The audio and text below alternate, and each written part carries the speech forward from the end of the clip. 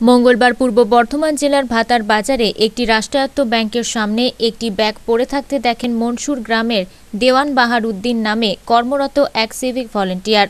তিনি ব্যাগটি ভাতার থানায় জমা দেন। ব্যাগে থাকা ভোটার কার্ড ও আধার কার্ড দেখে তার পরিচয় জানতে পারে। ওই ব্যক্তির বাড়িতে খবর দেয়া হয়। পরিবারের লোকজন থানায় উপস্থিত হয়ে ব্যাগটি নিয়ে যান। যার ব্যাগ হারিয়েছিল তিনি বালশিডাঙ্গা গ্রামের বাসিন্দা মহুরা বিবি। ভাতারে সিভিক পুলিশে একটা টাকা হারিয়েছিল বালসডাঙ্গার ওই মহুবাবু বলে একটা মেয়ে।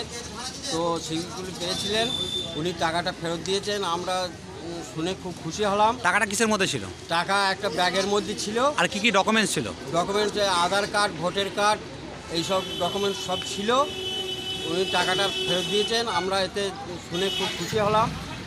বালসডাঙ্গা গ্রামের এই মহুবাবু বলে ওই ভদ্র মহিলার ওই টাকাটা উনি পেয়েছেন। আপনার বাড়ি কি জানতে পারছেন? হ্যাঁ ও- ওনার নাম হচ্ছে বাহারুদ্দিন আহমেদ। ও ভুমসোর বাড়ি।